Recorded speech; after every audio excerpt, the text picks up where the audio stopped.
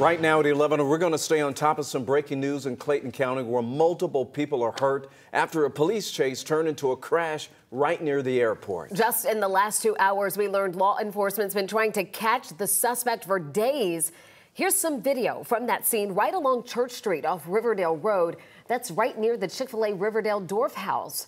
Witnesses say the suspect had two kids in his SUV when he crashed into another car and flipped his own. 11 Alive's Cody Alcorn is live in Riverdale. Now, Cody, you have been speaking with people right there on the scene. What are they saying about all this? Well, they say we're lucky more people weren't hurt in this crash. Now, it all happened right here behind me at Howard Street. You can see some of the glass still in the median, but check this out, Ron and Jennifer. Here is some of the car parts from that sedan this suspect crashed into before he kept going down Church Street, flipping his SUV and crashing into those woods.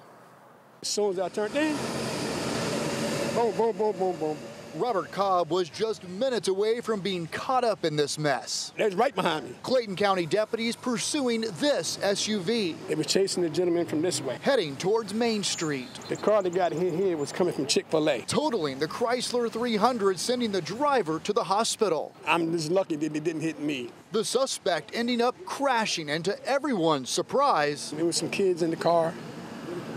You had kids in there. Two small kids. The one car, the SUV that was being chased by the police, it was two kids in the car.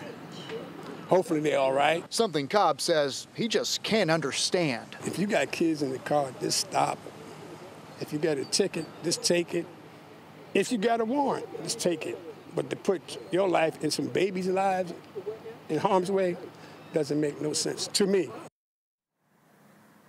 It makes no sense at all. We can tell you the sheriff says the suspect tonight is heading to jail facing 24 charges from this chase and the two others since April 20th. I've been trying to find out how those children are doing and the man who was hit here behind me, but so far we've gotten no updates on their conditions. In Riverdale, Cody Alcorn, 11 Alive News.